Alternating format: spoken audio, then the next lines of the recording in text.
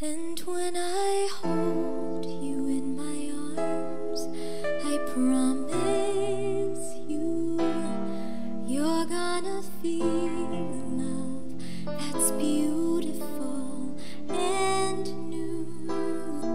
This time I love you even better than I ever did before, and you'll be